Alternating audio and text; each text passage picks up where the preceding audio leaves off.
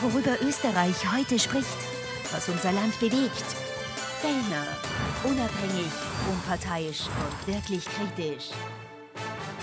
Fellner live. Mittwochabend bei Fellner Live mit einem ganz besonderen Duo, nämlich ihrem Lieblingsduell. Peter Westenthaler ist hier. Hallo. Josef Chapp ist hier. Äh, beide bereiten sich schon vor auf den großen Jahresrückblick, den sie mit Chapp und Westenthaler ab nächsten Sonntag, ab 25. Dezember sehen werden. Aber heute machen wir noch so eine Art Schlussduell zu diesem Jahr äh, mit den ganz aktuellen Themen dieser Woche. Und das Thema, das jetzt eigentlich in den letzten Stunden äh, fast alle anderen Themen überschattet hat, sind unsere Nachbarn aus der Schweiz, die völlig überraschend einen kompletten Asylstopp verfügt haben. Schluss mit lustig, keiner darf mehr rein, die Grenzen werden dicht gemacht, kein Asylant darf, man, darf mehr rein und falls es doch schafft, über irgendeinen der sieben Schweizer Berge ins Land zu kommen, dann ist er gleich wieder draußen, weil ihm die Schweiz mitteilt, es gibt kein Asylansuchen, es gibt keine äh, Asylgenehmigungen mehr in der Schweiz äh, Pfirti oder wie es dort heißt. Ja? Tschüss, grüß, grüezi, grüezi, grüezi, sagen die grüezi und auf Wiedersehen und grüßen Sie mir Afghanistan oder Syrien oder wo immer Sie herkommen, am Weg zurück. Eine interessante Entwicklung, Peter Westenthaler. Du forderst es ja, glaube ich, in ähnlicher Form für Österreich.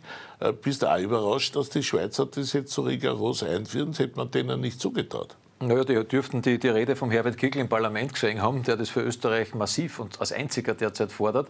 Ich verstehe überhaupt nicht, wie man heutzutage eigentlich nicht gegen einen Asylstopp sein kann. Ist aber Na, weil man vielleicht die Menschenrechte und ja, die Menschlichkeit ja, aber in erster Linie, äh, auf der Fahne In erster Linie geht es um die Menschenrechte der eigenen Menschen im Land einmal. Und das ja, ist aber das Wichtigste. Die Schweiz war eigentlich die, als die, Land des Asyls und der Menschenrechte weltberühmt. Das ist ja das für mich so, so Interessante, dass die Schweizer das jetzt machen und uns eigentlich eigentlich vorzeigen, SIG, weil wir haben es ja schon lange gefordert, uns eigentlich vorzeigen, wie es geht.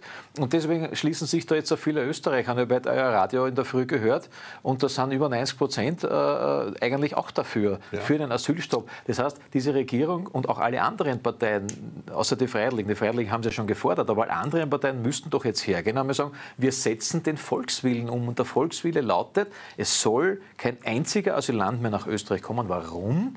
Weil es erstens rechtlich korrekt ist. Es gibt keinen, keinen Rechtsanspruch, schon lange nicht mehr seit Dublin. Jeder, der zu uns kommt, kommt über ein sicheres Drittland. Und zweitens, warum? Weil wir derzeit über 100.000 Asylanträge haben, die meisten weltweit äh, an der Bevölkerungszahl gemessen. Und in diesem Jahr, das jetzt gerade zu Ende geht, rund 250.000 Zuwanderer netto, die hier im Land geblieben sind. Denn die Geschichte, die Geschichte, die kommen eh noch zu uns, weil sie dann irgendwo anders weitermarschieren, die hält nicht mehr. Die bleiben hier, weil sie bei uns die Sozialleistungen bekommen, die sie nirgends bekommen. Über das können wir gleich reden. Aber das, was die Schweiz da macht, ist natürlich ein massiver Verstoß gegen die Menschenrechtskonvention die aus dem Jahr 1950 stammt, äh, die Klar, 50 Jahre, die man, die man gemacht hat zu einem Zeitpunkt, sowohl Flüchtlinge als auch Menschenrechtskonvention, wo es ging um Flüchtlinge nach dem Krieg, die alle in unserem äh, Kulturkreis waren, Europa, Amerika maximal, aber nicht aus jenen Kulturkreisen, wo jetzt diese sogenannten Bereicherer, wie sie ja genannt werden von den Schöngeistigen in dem Land, aus Afghanistan, Syrien und aus allen Herren Ländern zu uns kommen, hier Testosteron gesteuert einfallen und unsere Kinder und Frauen vergewaltigen Deswegen jetzt schon wieder ein 13-jähriges Madel. Die Leonie, ja, wo hört denn das auf? Es muss Schluss sein. Und erwarten wir von einem Bundeskanzler nicht, dass er fabuliert über irgendwelche nicht errichtbare Zäune, das ist ja also Schwachsinn, sondern er sagt so, in unserem Land ist jetzt einmal dicht, da kommt keiner mehr rein. So wie es die Schweiz macht, so wie es zum Teil Ungarn macht, so wie es andere Länder machen. Schluss mit lustig und aus. Ja, kann schon, in der Schweiz kann er ja noch reinkommen. Er kriegt ja, kein Verfahren. Naja, er wird wieder abgewiesen. Er wird abgewiesen. Ja, er wird abgewiesen. Grüezi. So, äh, Josef, verteidigst du die Menschenrechtskonvention oder bist du auch auf Schweizer Linie? Nein, ich bin, grundsätzlich ist es äh, zu akzeptieren, dass es diese Menschenrechts- und Flüchtlingskonvention gibt. Ja, aber es gibt intelligentere Methoden, um äh, die, die Zuwanderung, vor allem die illegale Zuwanderung, in den Griff zu kriegen. Ja. Und, und intelligentere Methoden verstehe ich, und ich bin auch der Meinung, und das hat auch damals in dem Interview die Pamela eigentlich gesagt, dass das zu viel ist, dass wir 100.000 Asylanträge haben und die Ungarn haben 50. Ja, ich meine, das geht nicht. Und die Ministerin Edstadler... Die Schweiz hat 30.000 Ja, und die Ministerin Edstadler hat jedenfalls jetzt öffentlich auch erklärt, dass der Orban da einen Beitrag leisten soll. Denn Orban ist anscheinend Österreich völlig gleichgültig. Der winkt da alles durch. Der soll völlig also dort das entgegennehmen. Und was der dort anbietet für die Flüchtlinge nicht, das ist nicht mein Problem als Österreicher. Nein, schon, ja, ja, nein, ich kann, dann daher. Nein, nein, ich kann ja darüber diskutieren, ob der Klimabonus unbedingt für die Asylbewerber sein muss. Das haben wir eh schon diskutiert und gesagt, wieso eigentlich? Ja, der ist gerade gekommen und kriegt dem schon. Also das ist aber eine andere andere Debatte. Die, die, die wirkliche Debatte ist die, ich brauche bessere Kontrollen bei den Außengrenzen. Ich muss bei der Schengen-Erweiterung, die jetzt blockiert ist bei Rumänien und Bulgarien, ausverhandeln, dass die ganz eine andere Grenzsicherung machen, wenn das eine sogenannte EU-Außengrenze ist. Die Asylanträge müssen außerhalb der EU stellbar sein, am besten in Nordafrika, so wie schon hundertmal diskutiert worden ist. Die Asylverfahren müssen schneller sein. Es muss diese, äh, die Zurückführung funktionieren du wirst Verträge brauchen mit Drittländern. Das ist ja alles ja, machbar. das ist ja alles wahnsinnig lieb. Ja, ja aber machbar. Und insofern so lieb, weil wir uns ja dem Christkind nähern. Und jetzt kann man sagen, jetzt wünsche ich mir da alles Mögliche. Ich schreibe das jetzt auf einen Zettel auf, schicke es ans Christkind. Wenn ich Glück habe, liegt es unter dem Weihnachtsbaum. In dem Fall glaube ich, dass du kein Glück haben wirst, es wird nicht unter dem Weihnachtsbaum liegen, weil das so schnell nicht geht.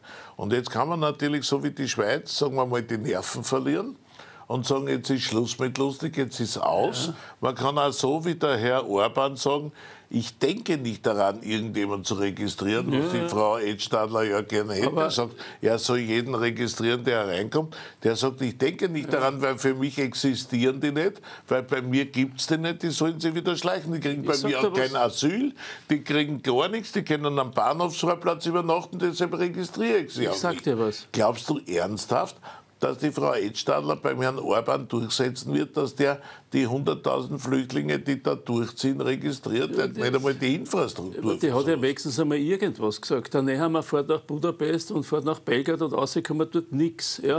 Außer, dass, die Visa, dass jetzt eine Visapflicht für Inder gibt. Aber ich prophezei den Schweizern Folgendes. Die, die werden folgendes Problem haben. Wir haben das bei uns auch gemerkt. Es hat Leute gegeben, die sind nach Österreich rein und plötzlich verschwunden. Ja? Und das waren nicht einmal so wenige. Und so wird es in der Schweiz auch sein. Die werden rein, die Schweizer werden sagen, du brauchst gar keine Antrag stellen, du kriegst ihn am eh nicht und Schau. er wird verschwinden. Und entweder verschwindet Schweizer Tal. Ja, ja genau. Entweder ja. verschwindet er irgendwo in der Schweiz oder er verschwindet weiter Richtung Deutschland und macht dann dort aus. Vermutlich das, verschwindet er irgendwo genau. in der Schweiz. Und daher bin ich aber dafür, auch wenn du jetzt meine Vorschläge als Wunsch an das Christkind äh, darstellst und es war zu blöd, vor dem Christkind Wünsche zu äußern. Also du bist da äh, äh an sich... Wenn man ans Christkind glaubt, so wie du als alter Sozialdemokrat, bist, dann... Äh, nein, du bist ein bisschen übermütig, weil du wirst trotzdem irgendwo konkrete Punkte anstellen müssen, damit du das wirklich in den Griff kriegst. Weil nur äh, den hilflosen Preis kriegen ja, oder einfach nichts machen oder nichts tun, das ist einfach zu wenig.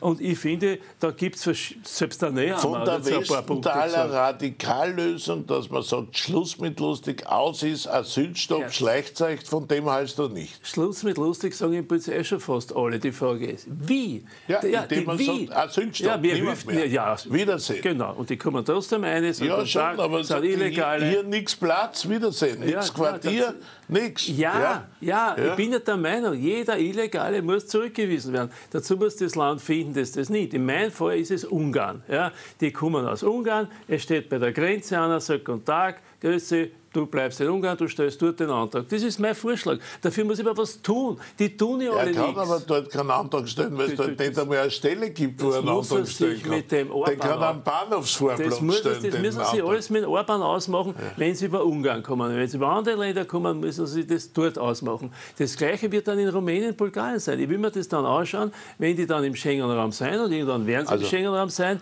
wie wird es dort laufen? Peter. Und dieses Zuschauen, Herumreden und, und, und Radikalrhetorik, wo nichts rauskommt, hilft niemandem. So, also der Josef Czappeter versucht eine erstens menschliche, zweitens gesetzestreue Lösung, die sich auch an die Menschenrechtskonvention hält. Mhm. Und er sagt das, was eigentlich logisch ist, dort, wo die das erste Mal aufgetreten sind, auf europäischem Boden. Dazu in seinen Antrag stellen. Er lernt seine Liebe zu Edstadler äh, zu entwickeln. Üben. Besonders spannend finde in der letzten Sendung dieser, dieser Kuss zwischen den beiden plötzlich.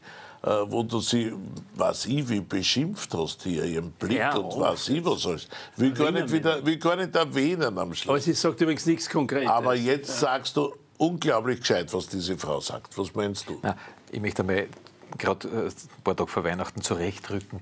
Ich setze mich auch für eine menschliche Lösung ein. Na, Naja, Und zwar eine menschliche Lösung für die österreichischen Mitbürger, die wir da haben. ach so. Ja, genau. Und die stöhnen unter dem, was da passiert, unter diesem, dieser Völkerwanderung, die über uns hereingebrochen ist in dem Jahr.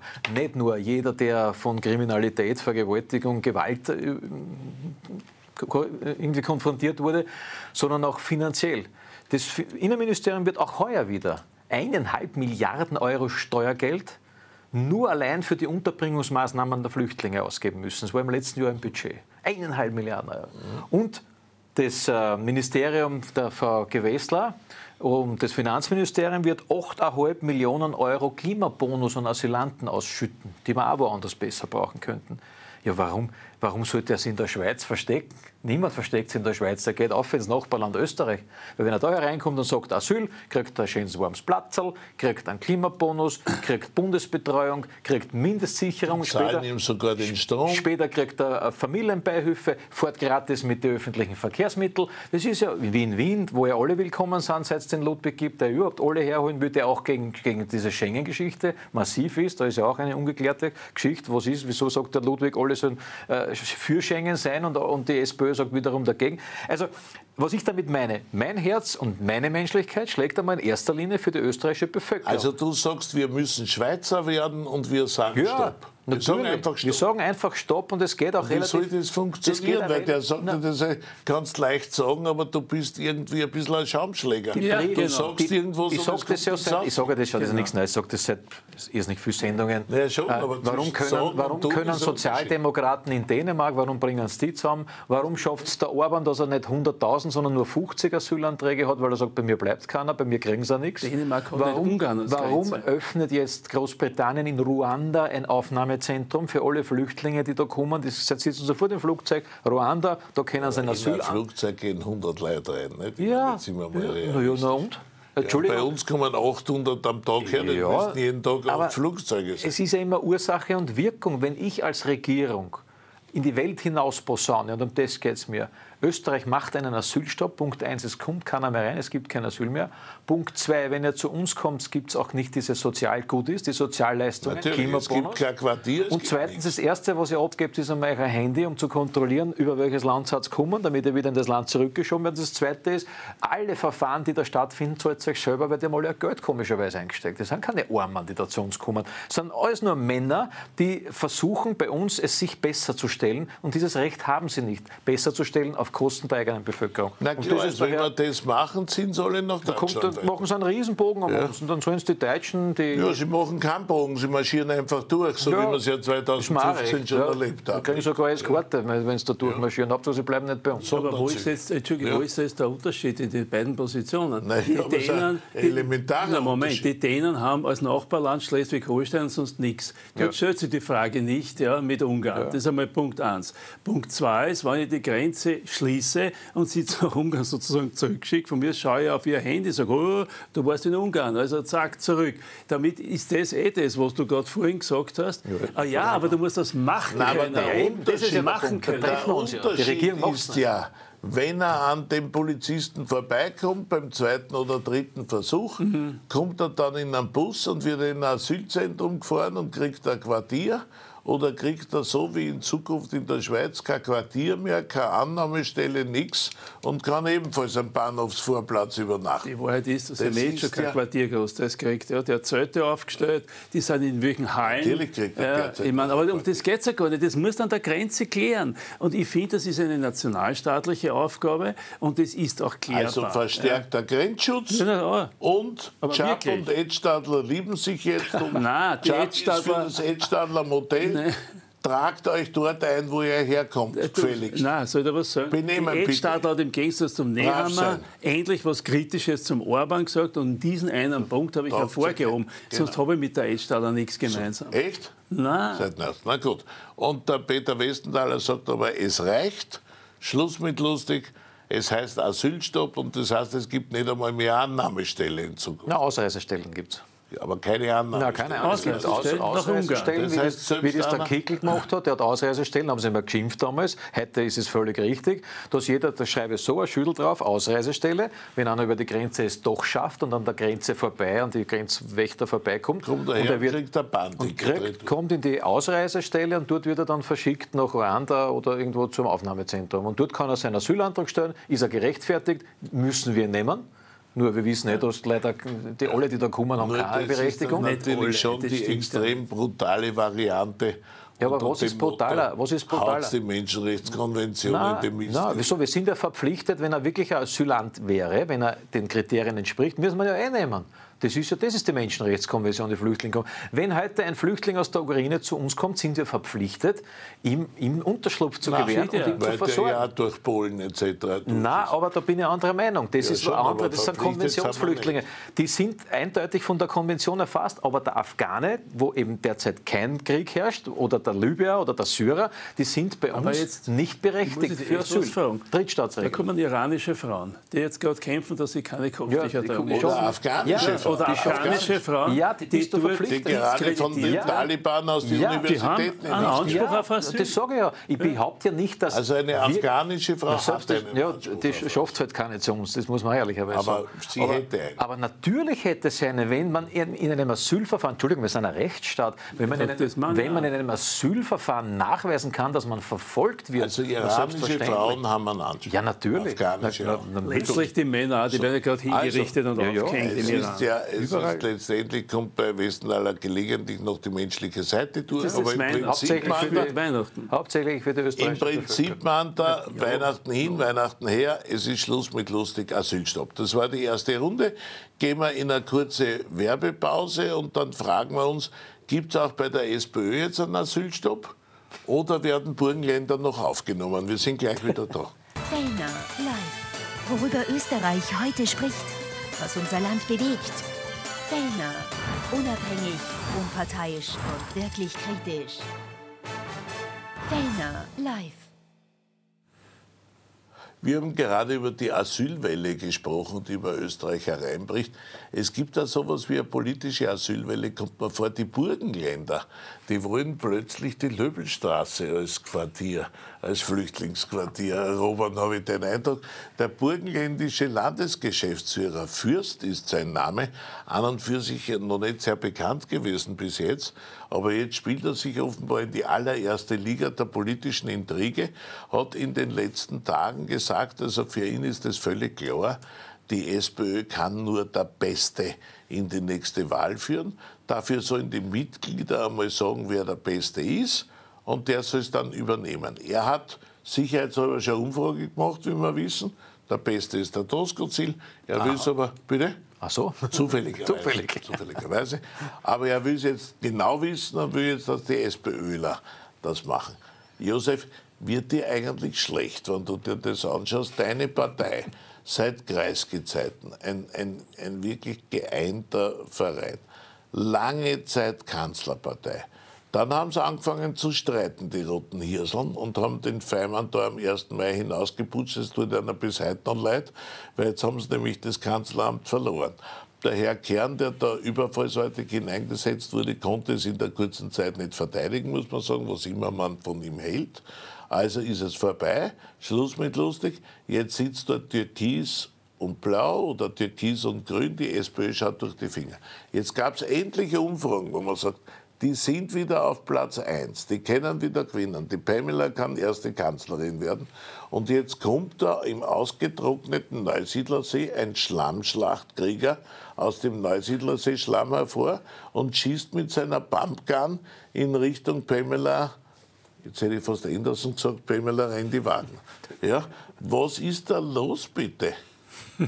Also ich bin begeistert von deinem äh, Anteil ich muss ja für den Interesse. ja, ja, ja, schau, du hast, das ja, du hast ja einen Punkt zum Beispiel äh, dargestellt, das Auspfeifen eines aktiven sozialdemokratischen Kanzlers am das 1. Mai am Rathausplatz war so mit Abstand das schändlichste, dümmste, was überhaupt eine Partei jemals machen kann. Ja, also das war einmal Punkt 1. Das beweist aber nur... Ich, ich, ich pfeife meinen eigenen Kanzler ja, aus dem Kanzleramt. Furchtbar, das müsst ihr mal ja. machen. So. Ja. Und das Zweite ist, dass ich finde, äh, das Allereinfachste wäre, und das ist auch ein Bedürfnis bei den Mitgliedern und Mitarbeitern, sämtliche Akteure, die da jetzt gerade einen Richtungsstreit, und der ist legitim, der ist legitim. Und dieser okay, Richtungsstreit, nein, der, Richtung, der politische Richtungsstreit ist schon legitim. Deswegen hat ja die Pamela Rendi Wagner bei dir in dem Interview gesagt, jetzt kommt die Migration in den, in den Zentrum neben der Teuerung, jetzt müssen wir gegen die illegale Migration, wir haben dann 1.000 oder 100.000 Asylwerber, da muss man was machen, das ist zu viel. Das ist jedenfalls etwas, womit man die Chance hat, den ersten Platz auch in den Umfang wieder zurückzubekommen, weil davon profitiert momentan aktuell gerade der Kegel. Der profitiert exakt Correct, von diesem ja. Thema. Ja, aber so. von dem hört man nichts nichts mehr, ja. sondern man hört nur noch, wie der Herr Doskozil, der Neusiedlerseekrieger, gegen die arme Pamela Rendi Wagner, die sich in der Löwenstraße nur noch verschanzt, das Dauerfeuer ist. Ja, und ich sage da, das Allereinfachste ist, man nimmt einen ganz einen großen Raum, da habt ihr ja Erfahrung, nicht unbedingt, obwohl das eine sehr schöne Gegend Stadtteil, ist. Ja, ja, man schert einen großen Raum ja, und ja. alle Akteure kommen da zusammen und dann das bei verschlossener Tür einmal ausreden und sich dann für eine Richtung entscheiden. Mein Richtungsvorschlag ist, es muss eine Kombination aus linker Mitte, rechter Mitte geben. Und äh, das muss Wer ich sagen. ist die linke Mitte, die Pamela Randy? Nein, das kann eine Person, die kandidiert, muss beides, beides können. Ja, ja das beides. ist dann der Toskozil. Das momentan sind Der einzige, der auch rechte Mitte ist. Also die Randy Wagner kann ja nicht das rechte Na, der Toskozil ja, der ja gesagt hat. Linke Mitte Pflege, und rechte Mitte. Ja, genau, das gesehen. Ja, das hat er ja schon bewiesen. Die Rede nach dem Interview bei dir, wo sie sozusagen die rechte Mitte mit der Migrations- und Teuerungsfrage naja, aufgemacht das hat, aber nicht du nicht dein eigenes Interview jetzt runter machen. Das war, ja. das, war, na, das war schon rechte Mitte. Weil sie sogar rechte Mitte sie ist, wenn man sagt, ich kann mir vorstellen, mit der FPÖ zu koalieren. Ja, das, das hat sie in dem Interview auch drinnen gehabt. Dass, sie FPÖ? hat in dem Interview drinnen bei sämtlichen Koalitionswahlen... Muss ich mir nochmal anschauen. Das ja, darf ich mal kurz das zu Ende sagen. Bei sämtlichen Koalitionsvarianten haben wir eine, eine Tabelle, eine Ethik, eine Politik- und Ethiktabelle und nachdem wird entschieden, mit welchem Partner wir Koalitionen machen. Das hat sie gesagt, das war sie. Das hat auch der Peter Kaiser damals gemeinsam mit anderen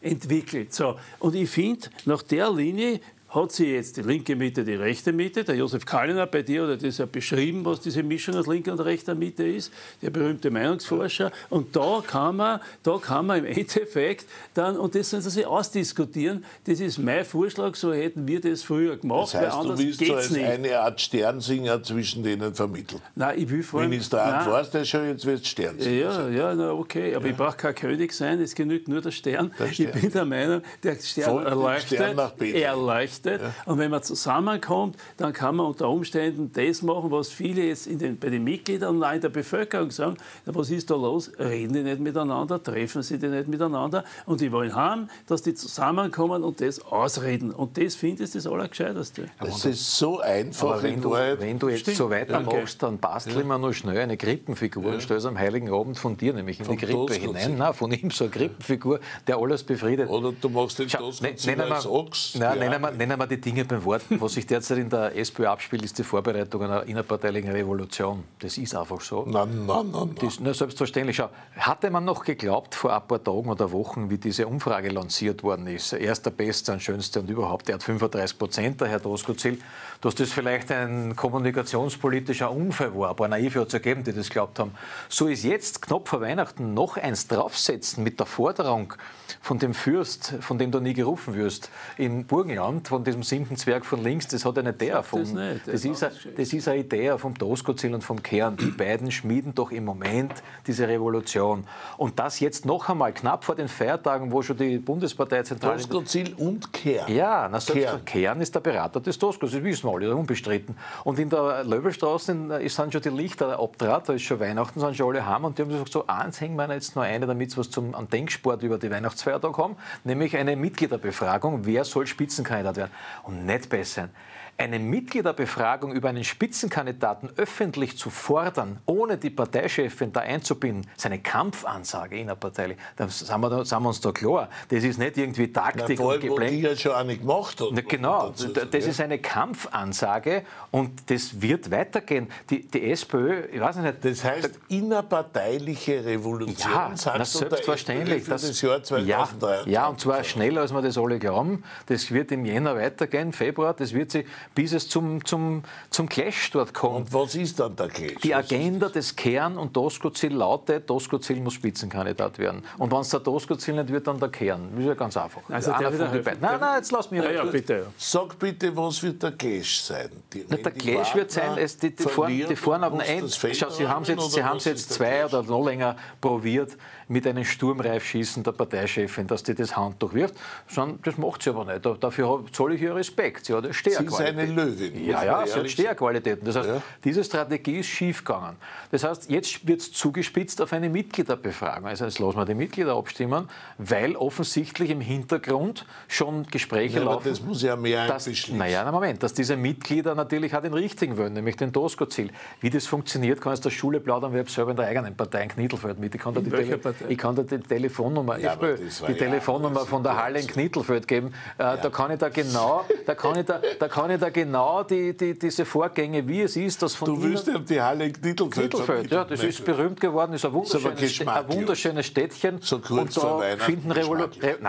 aber das, das muss man einfach so nüchtern sehen. Jeder politische Beobachter weiß das, dass sowas ausrichten einer, einer, einer, äh, bei einem amtierenden, das ist ja, aber wie soll denn das funktionieren? Erklären wir mal, wie soll so eine Mitgliederbefragung stattfinden, wenn die Randy Wagner das nicht will, wenn der Ludwig das nicht will, wenn der Niederösterreicher das nicht naja, kann, das ja, weil Wolfgang. der braucht das für der Niederösterreich-Wahl wie ein Gurkel im Knie. Wolfgang, also wer soll, wir, wir welche ja, Mehrheit soll das ja, unterstützen? das kommt eh nicht. Das ist ja nicht der Punkt. Es geht nicht darum, dass es kommt, sondern es, es geht. Keine nein, wir, schau, wir sind doch Deswegen sitzen wir da Insider. Wir wissen, wie das geht. Bitte. Was heißt denn das, wenn aus dem Burgenland der Tosco-Ziel in Wahrheit nicht dafür ist, der Tosco-Ziel, ich will, dass die Mitglieder stimmen über die Mitglieder, die Basis abstimmt über den Spitzenkandidaten, über die Parteichefin. Weißt du, was das heißt? Das heißt, sagt die Parteichefin oder der Ludwig oder irgendwer, ich bin dagegen dann stemmen Sie die ja gegen die Parteimitglieder. Das heißt, ja. die wollen eine Aussage ja. haben, Pamela Rendi-Wagner Die Parteimitglieder haben ja schon abgestimmt. Schwierig ist immer, wenn man Gedanken nicht zu Ende führen kann. Bitte, Entschuldigung. Wenn, wenn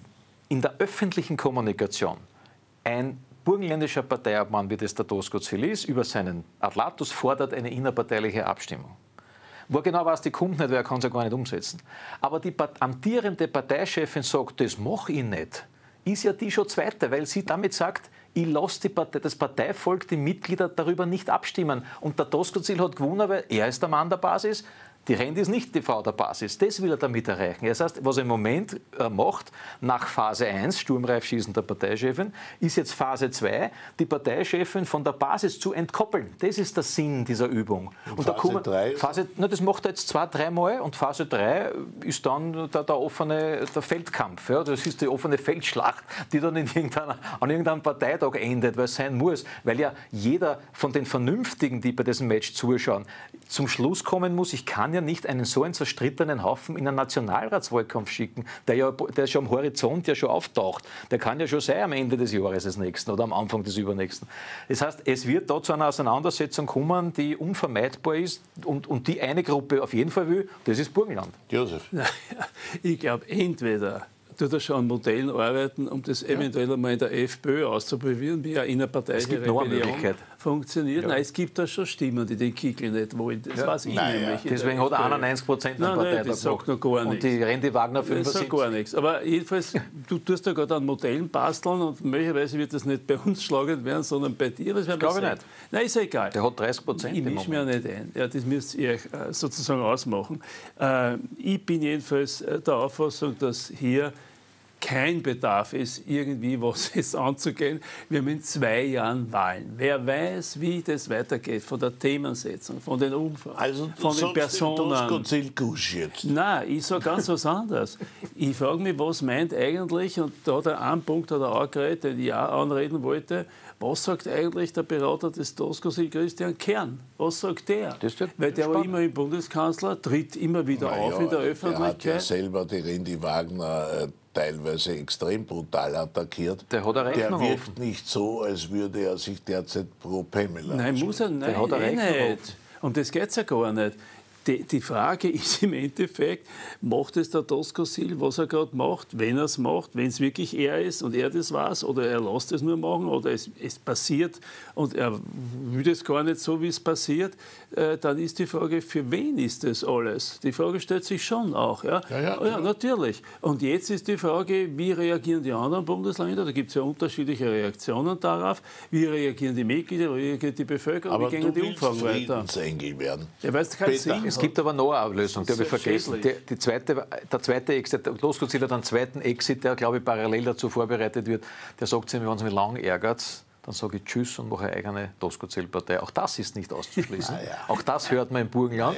Auch dieses Modell gibt es bereits. Hussa, Dominik Und wenn, da, wenn, wenn so Leute wie Zeiler äh, auftreten und sich bemüßigt fühlen, äh, Landeshauptleute äh, damit zu beschimpfen, sie seien keine Sozialdemokraten. Und Zeiler hat das gesagt in einem Fernsehauftritt. ist ja er hat gesagt, falsch. der Zeiler hat gesagt, Doskozil ist kein Sozialdemokrat. Das ist so ungefähr das Schlimmste, was dann Sozialdemokraten ausrichten kannst. Würde der ich auch sagen. Der noch dazu Landeshauptmann ist. Na, wenn Also, mir einer fragt, sage ja, da fliegen die ist Hakeln, da fliegt, na, der ist schon ein Sozialdemokrat. Aber das, Geh bitte. Selbstverständlich. Es ist einfach, ist äh, das Sozialdemokrat. entbehrt jeder Grundlage, diese Aussage genau, von Zeiler, weil der natürlich einer ist und weil der teilweise linkere Maßnahmen gesetzt hat, als so manche andere es jemals gesetzt haben. Also das ist absurd. Aber das muss der Zeiler vertreten, das ist sein Kaffee, er sagt das Privatmann, das ist äh, nichts anderes. Einig? Schluss dieser Debatte, wenn ich das hier als Moderator sagen darf, er kann das ja in der SPÖ leider nicht so leicht sagen, Schluss der Debatte. Schwamm drüber. Schluss der Debatte, lieber Peter Westenthaler. Erstens, kann der Tosco-Ziel überhaupt Wahlkampf in seiner gesundheitlichen Verfassung? Zweitens, könnte er die Wahl gewinnen, im Gegensatz zur Pamela, die es offenbar gegen einen Kickel nur schwer kann? Und drittens, könnte er dann Kanzler werden, weil vielleicht der Kickel sagt, bin ich zwar Erster, aber ich will unbedingt eine Regierung haben, also lasse ich einen Tosco-Ziel als zweiten Kanzler machen, nehmen wir das Finanzministerium, das Innenministerium und diese Dinge wieder. Also zur ersten Frage, die ganze Gesundheitskiste. Ich wünsche ihm echt totale Genesung und alles, alles Gute. Ähm, Ich weiß aber auch, wie, so ein, wie brutal so ein Medienwahlkampf ist mit Dutzenden, Hunderten Fernseh- und Radioauftritten und, und du, du musst einfach in guter Kondition sein. Wenn er das ist, ist es in Ordnung, aber das muss er selbst entscheiden. Ich habe großen Respekt, wie heroisch er die letzten Monate, Jahre mit seinem Stimmproblem das trotzdem geschafft hat, äh, Politik zu machen. Hut ab. Ob es reicht für eine Spitzenkandidatur bei einer Nationalratswahl, kann nur er entscheiden. Da mische ich mich nicht ein.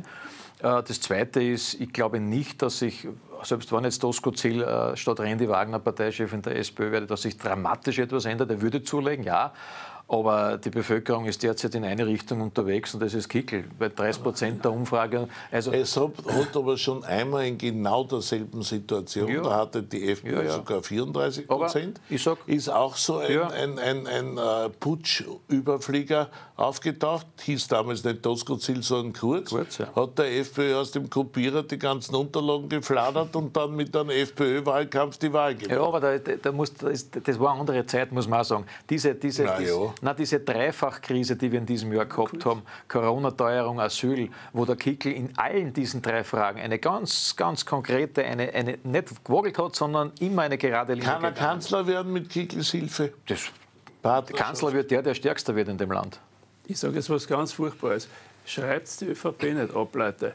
Denn die haben nämlich eine Reservefigur, die heißt Brunner. Das ist der Finanzminister. Und der Brunner hat das Konzept, er ist kurz plus Wirtschaftskompetenz. Und wird versuchen, dass er die Wähler, die sie verloren haben, wieder zurückzuholen, damit er sozusagen zumindest die SPÖ überholt oder überhaupt Erster wird. Und das ist das, wo beim Nehammer die Sanduhr immer dünner und schneller wird, weil im Endeffekt ist Baut sie der? Brunner die Alternative. Also du sagst Brunner, ich sag Tosco-Ziel, er sagt. Brunner kann dann werden. Alles ja? ist möglich in dieser Republik im nächsten Jahr. Wir gehen in eine kurze Werbepause. Und weil er jetzt gerade Brunner gesagt hat, wir haben ja heute erfahren, dass unsere Regierung die aller, allerbeste ist. Und wir begnadet, weil nur die Luxemburger kriegen mehr Geld als wir. Wir sind gleich wieder da. Live. Worüber Österreich heute spricht. Was unser Land bewegt. Fellner. Unabhängig, unparteiisch und wirklich kritisch. Fellner live. Ja, wir sind am Mittwochabend angelangt beim Schlussduell zu Fellner Live. Peter Westenthaler, Josef Czap. Es ist das letzte aktuelle Duell in diesem Jahr. Aber die beiden Herren werden ab nächsten Sonntag jeden Abend im Studio sein, immer um 21 Uhr, immer eine Stunde und auf wirklich eindrucksvolle Art und Weise das Jahr 2022 anhand der spannendsten Menschen Revue passieren lassen und äh, es analysieren. Ich kann nur sagen, schauen Sie sich das an, es zahlt sich aus. Ich kann es beurteilen, weil ich bin der Moderator. Ich sitze dazwischen und schweige ausnahmsweise. Hochachtungsvoll. Jetzt aber, naja, definitiv. Aus dem ist kalt und schier draus. Jetzt, jetzt aber äh, kommen wir zum vorletzten Thema dieser Sendung. Wir hatten heute einen großartigen Auftritt unserer Regierung nach dem Ministerrat. Karl Nehammer hat uns erklärt, wir haben die beste Regierung der Welt. Es war ein großartiges Jahr für Österreich, ein großartiges Jahr dieser Regierung. Äh, Werner Kogler, wir haben mit Interesse festgestellt, heute, dass er das noch lebt. Ihm, ja. Das gibt er noch, sogar bester Laune, hat, hat gesagt, also sowas hat er überhaupt noch nie erlebt. So eine freundschaftliche, vertrauensvolle, äh, liebevolle Zusammenarbeit wie in dieser Regierung hat es in seinem politischen Leben noch nie gegeben. Und dann sind die zwei aufgetreten und haben gesagt, es ist unfassbar, wie viel Geld diese Regierung jedem Österreicher pro Kopf in der Teuerung schon bezahlt hat. Nur Luxemburg hat mehr, wenn ich das jetzt irgendwie auswendig im Kopf habe, es sind über 4000 Euro pro Bürger. Das heißt, äh, Peter Westendahl muss jetzt rasch ein Aschekreuz machen und sagen, mehr Culpa. Das habe ich nicht gewusst, dass das so viel Geld schon an alle Österreicher überwiesen haben. Das Schlimme ist, die glauben das wirklich. Ja? ja die glauben die, ich frage mich nur, von welchem Land die sprechen. Ich war vorgestern beim Hofer einkaufen. Ja. Ohne da jetzt Werbung machen zu wollen, aber ich habe mir das deshalb gemerkt, weil ich bin in einer Schlange bei der Kasse gestanden. Die Leute gehen halt jetzt äh, für einkaufen. Und vor mir war ein Mann, ein älterer Mann, ein bisschen schon gekrümmt, in einem Wintermantel und hat dort in seinem Wagerl ein paar Produkte gehabt fürs tägliche Leben. Die hat er auf, diese, auf dieses Bundle gelegt, dann ist das durchgerauscht, dann hat er seinen Rechnungsbetrag gekriegt.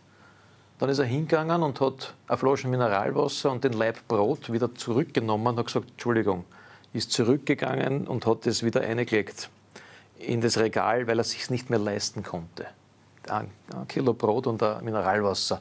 Den Rest, ein bisschen Butter und was er da gehabt hat, den hat er zahlen können, weil er hat ins Geldbessel vorher reingeschaut. Und wenn man dann die Regierung sagt, in Zeiten wie diesen, wo das nämlich kein Einzelfall ist, sondern wo das jeden Tag passiert, äh, es geht den Menschen so gut, dann hat sie nicht mehr alles. Tut mir wirklich leid. Die haben vergessen, wie es den Menschen in dem Land geht und sie haben das ganze Jahr lang in dieser Teuerung auch noch dazu etwas gemacht, was besonders verwerflich ist. Sie haben den Menschen versucht, Hoffnung zu machen mit Hilfszahlungen, die entweder gar nicht oder nur sehr sporadisch angekommen sind. Erinnern wir uns alle an einen schönen... 4.000 Euro pro Ja, ja, erinnern wir uns an einen, Ener Ener an einen Energiekostenzuschuss, mit dem hat es nämlich angefangen in dem Jahr, mit 150 Euro.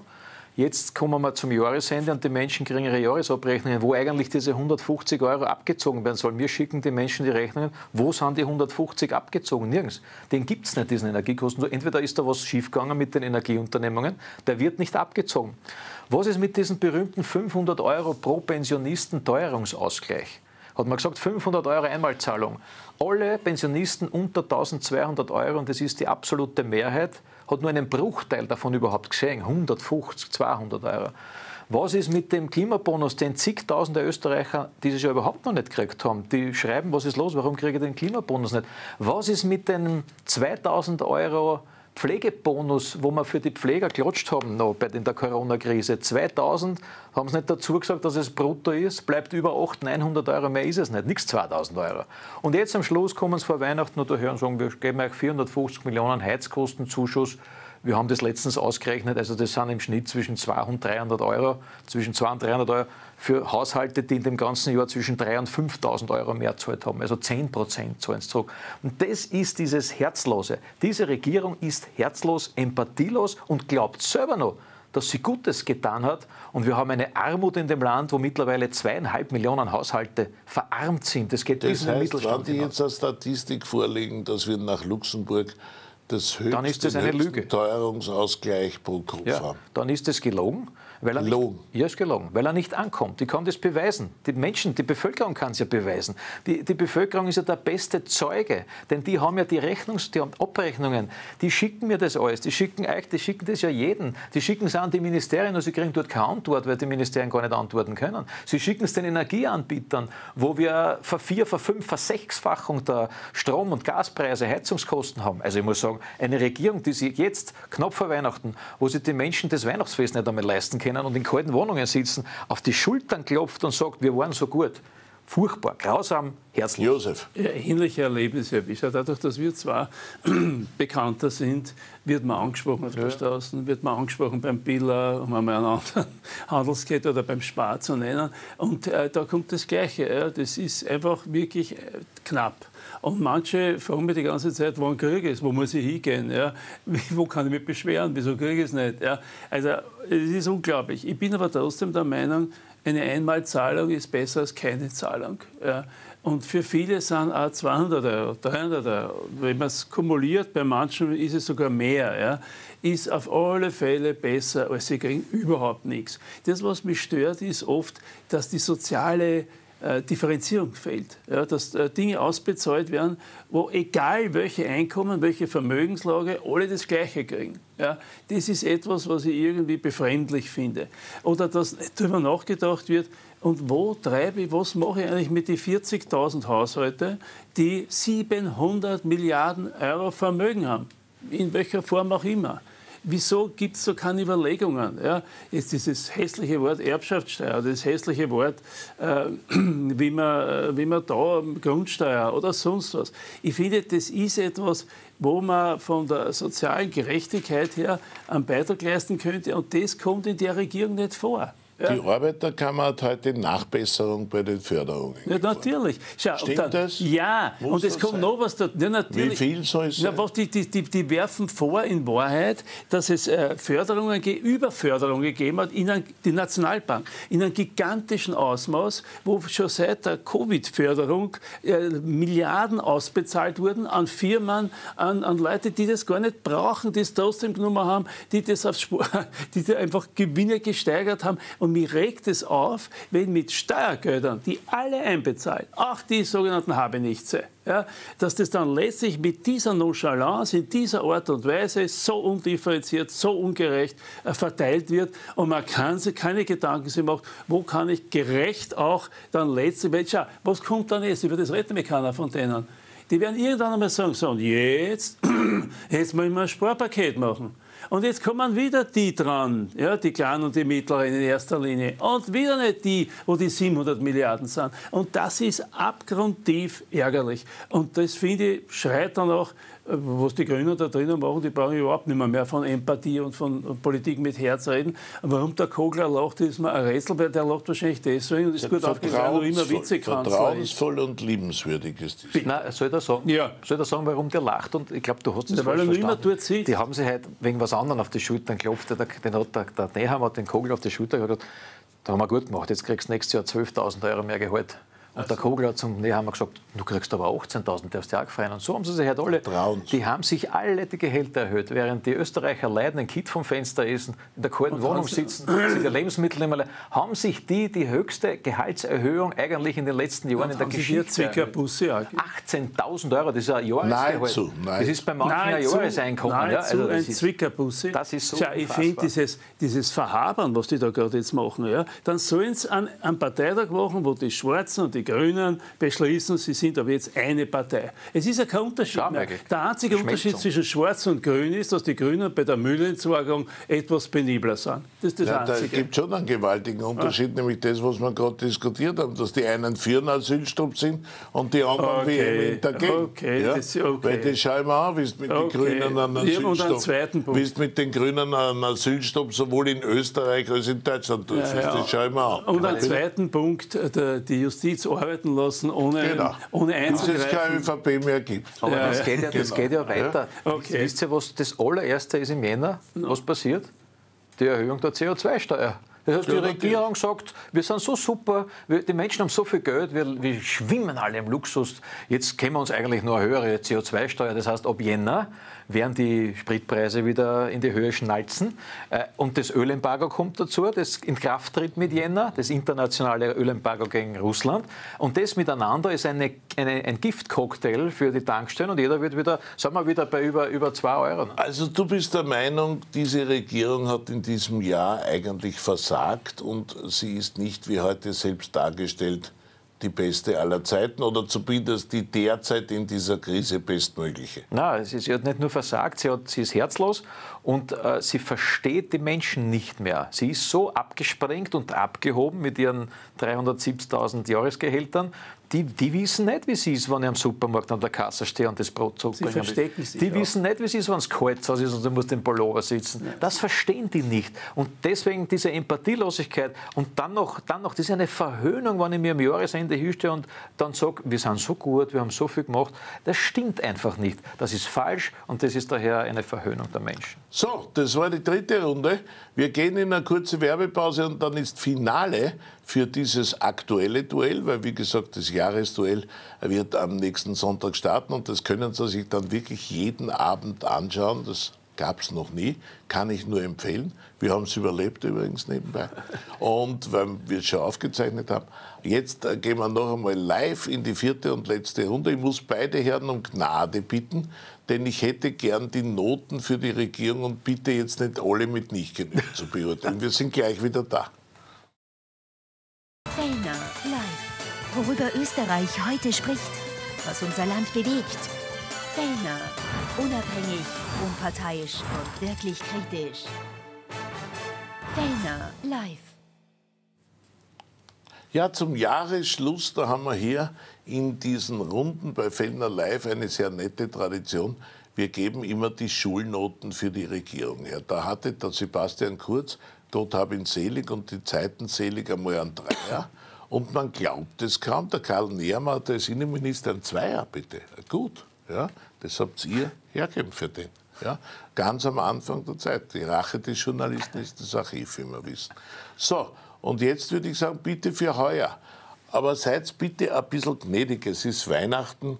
Die warnen eh schon, wie man heute bei der Pressekonferenz gesehen hat. Die klammern sich aneinander. Die haben heute in der Pressekonferenz geradezu äh, gebettelt um eine gute Note. Ich habe gesagt, Herr Lehrer, wir sind eh die Besten, bitte. Seien Sie jetzt da nicht so besser und geben Sie nicht dauernd ungenügend her. Wir sind die Besten und eigentlich erwarten wir uns auch sehr gut, haben der Nehammer und der Kruger gesagt. Was sagt der Lehrer Westenthaler? Ja, das tut, da tut man sich natürlich schwer.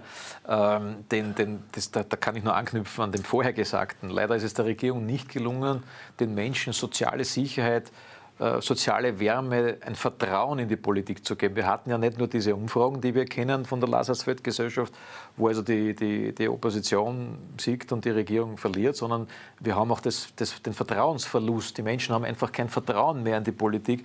Und das kommt halt daher, wenn man etwas verspricht und nicht einhält. Mhm. Und das ist jetzt nicht nur die Punkte, die ich schon vorher also aufgezählt Note für Karl Nehammer. Ja, glatter Fünfer für mich. Na, bitte, naja, selbstverständlich. Kann man nicht ein bisschen, Jemand, ich meine, er hat sich sehr bemüht jetzt im Herbst. Er hat sich wirklich bemüht. Ja, er, er, er hat die Schengen-Sache gemacht Ja. und bei Leuten wie dir Schau, den kannst du nicht einmal. Ja, er, er ist fort in der Welt herum. Ja. Äh, nach nach äh, Katar ist er gefahren, um unser Aber den äh, kannst du nicht einmal eine positive, den kannst nicht einmal eine positive Betragsnote geben, wenn er den Echt? Menschen Alkohol und Pharmaka äh, zur, zur Linderung ihrer Schmerzen empfiehlt oder. Also der kriegt sogar ein Betragen an äh, Nein, ich muss dir ehrlich sagen, das ist zu wenig. Das ist für einen Kanzler zu wenig. Erstens einmal hat er seine Partei von 34 37 auf 19 Prozent heruntergeführt. Das auch mal zusammenbringen. Also das ist ja, was ist eine Halbierung? Ja, also, Also nee, haben wir nicht genügend. Kogler, Ja. gibt es einen Kogler Kogler für mich, pass auf, jetzt kommt's, Pardon? jetzt kommt's, Kogler fällt aus der Wertung nicht benotbar, weil nicht vorhanden. Ganz einfach, der Der hat geschwänzt. Der oder hat was? geschwänzt, der war nicht da, daher ist er nicht benotbar, aber er muss die Klasse wiederholen. Das ist, naja, Entschuldigung, der ist nicht Dann vorhanden. gehen wir mal, der zu, die, existiert gehen wir mal nicht. zu den ÖVP-Ministern. Ja, da haben gibt wir ein auch paar, positive. die du ganz gut findest. Ja. Den Finanzminister. Ich würde dem Er liebt Finanzminister- jetzt unsere neue Europaministerin, also im neuen Stil, die alte Europameisterin Ich sehe drei- den bösen Blick. Ich sehe drei Minister in der Regierung positiv oder besser als zu Beginn. Da fällt mir mal der Magnus Brunner ein, der entwickelt sich Note für Brunner? gut. Gut. Na, Der entwickelt sich zu einem wirklichen, zu einer Alternative zu Nehammer. Ich glaube, das ist auch gewollt, äh, also dass der eine Kanzleralternative mhm. wird. Daher würde ich mir gut geben, jetzt kann man sagen, ein gut deshalb, der mir sehr gut geben. Ein gut deshalb, weil er den ganzen Schmonzes als Finanzminister natürlich auch umsetzt mit diesen äh, Förderungen, die nicht um, hinkommen. Aber im Großen und Ganzen gefällt mir der, der hat eine ehrliche Art, der ist, der ist zwar trocken, aber straight, der, der tut nicht herumflunkern, sondern der ist einfach ein Politiker, der, dem, man, dem man Vertrauen schenken kann. Das ist der Punkt eins. Der zweite, den ich positiv sehe, ist nach wie vor der Kocher. Der ist zwar fast nicht mehr auftreten in den letzten Wochen auch, aber der ist einer vom Fach, der kann das, hat die Arbeitslosigkeit halbwegs im Griff, Note. muss man ehrlicherweise sagen. Note befriedigend.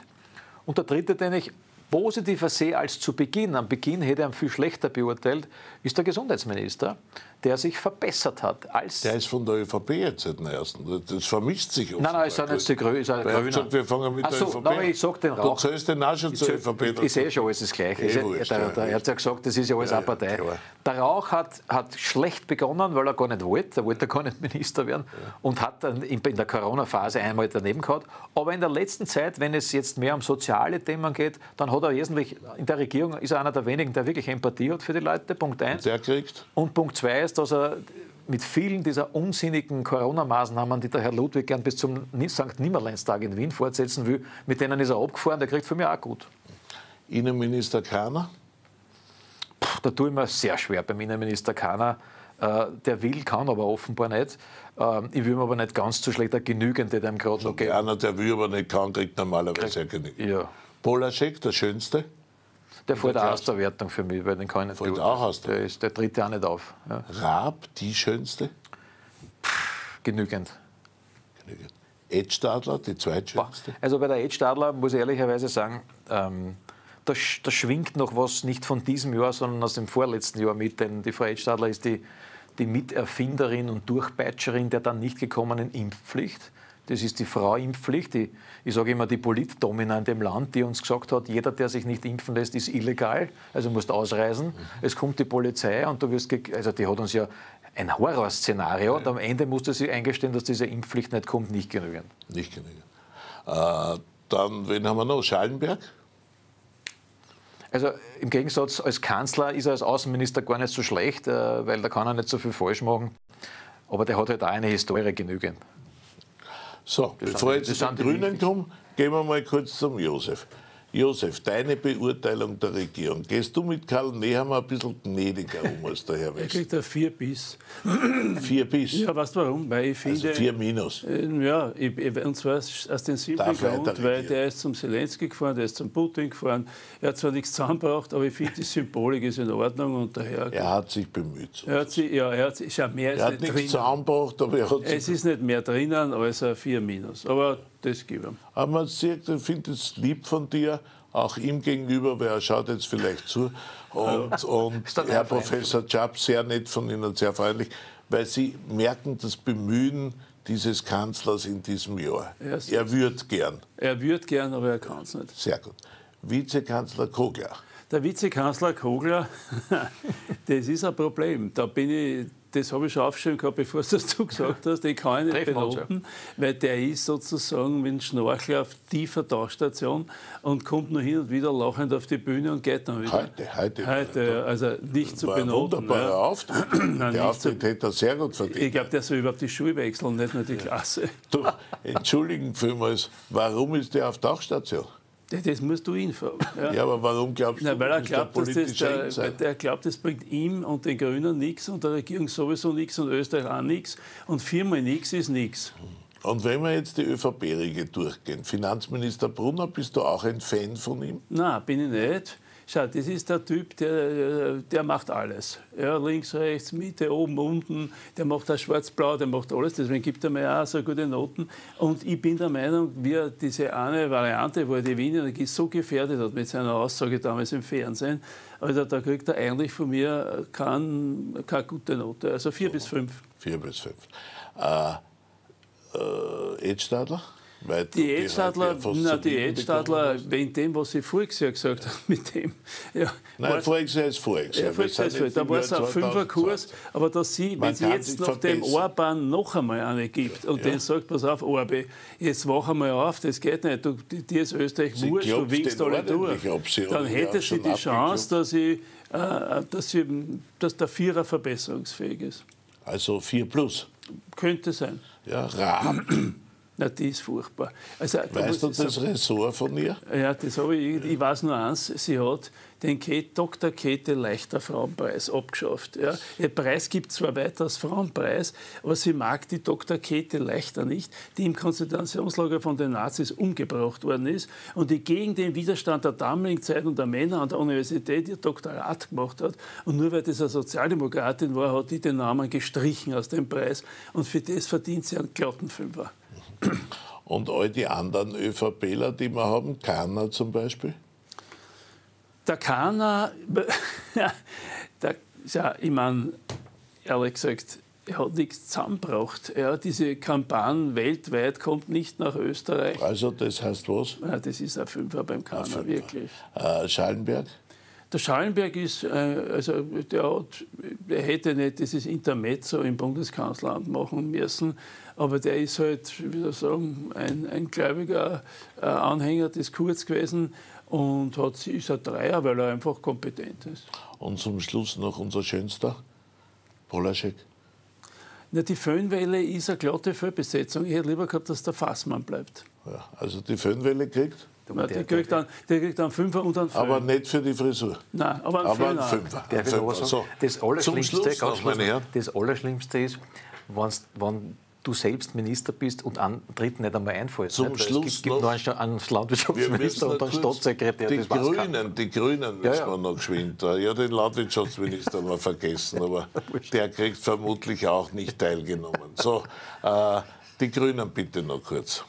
Gewessler. Also Kogler haben wir schon gesagt, nicht bewertbar, Gewessler, weil er nicht Gewessler. da war. Gewessler, absolute klassische 5. Also wenn es 6 gab, 6, weil die hat ja, die ist, die ist überhaupt das Gesicht des Jahres, ja, die uns allen aufoktroyieren will, wie wir zu leben haben. Äh, nämlich Energie zu sparen, CO2 zu sparen. Alles, wir müssen nicht sparen und den Gürtel enger schnallen und selber genau das Gegenteil lebt als Ministerin. Mit dem Privatjet durch die Gegend flügt, sich sündteure Berater leistet, sich sündteure Büromöbel leistet, sich sündteure Klimaanlagen leistet und und und. Die Frau ist wirklich, das, was sie verkörpert, lebt sie nicht. Und das ist in der Politik das Schlimmste, weil das heißt, sie ist nicht authentisch, nicht genügend setzt. Josef gewesen. Ich bin verärgert, weil sie gegen, diese, gegen den Lobautunnel ist. Ja, das war völlig, äh, völliger Irrsinn, weil das war schon geplant mit der Vasilako, mit der Grünen und so.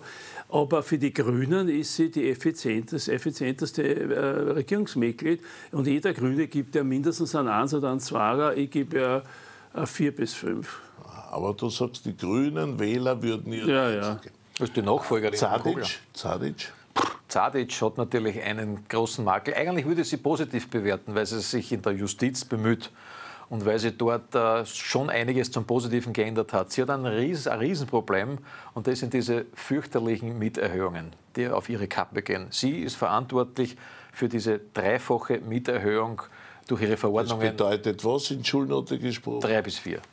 Zadic? Ja, ich hätte Zadic sogar einen Zwarer gegeben, weil die einfach oh. wirklich die Justiz halten lässt, weil ich von der sehr viel halte, weil sie auch, äh, was diese, die auch im Reformbereich tätig ist, aber wegen der Mieterhöhungen bin ich auch bei drei bis vier. Also, äh, Rauch?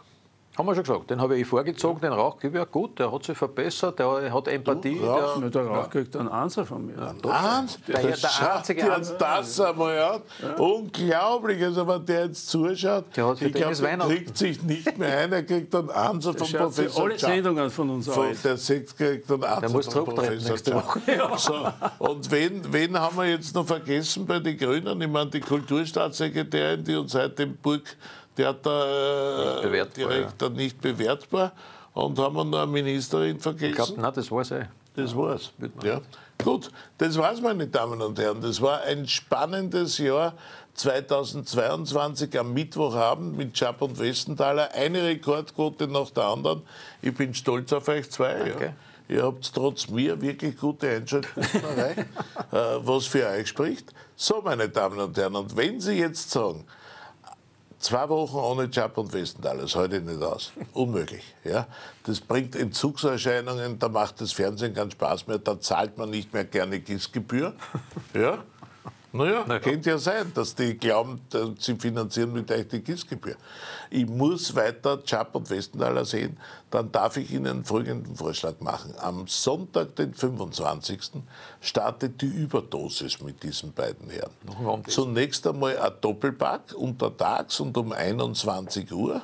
Und dann ab dem Dienstag, das ist der 27., jeden Abend um 21 Uhr Chap Westenthaler eine ganze Stunde lang über einen Monat des neuen Jahres. Das heißt, nach Adam Riese zwölf Stunden Chap und Westenthaler nächste Woche.